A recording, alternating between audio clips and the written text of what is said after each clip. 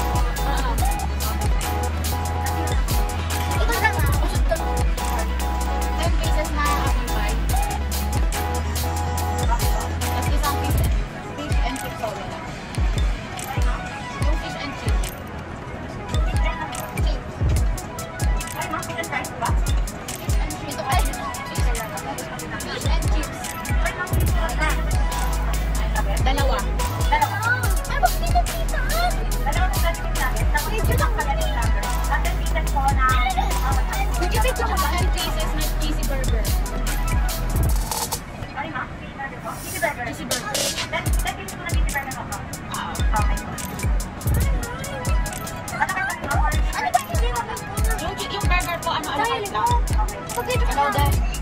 Si Kuya nandyan? Oo. Parang yung order na, dalawang valid natin po. Tapos po, ito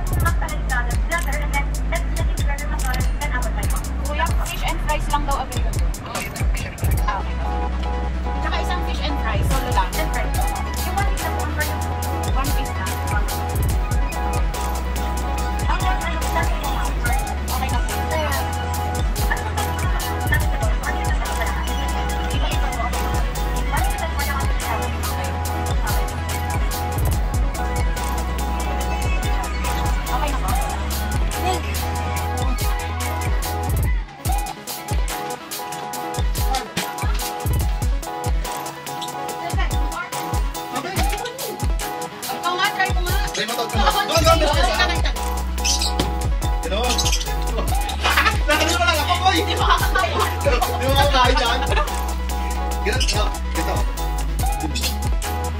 哦好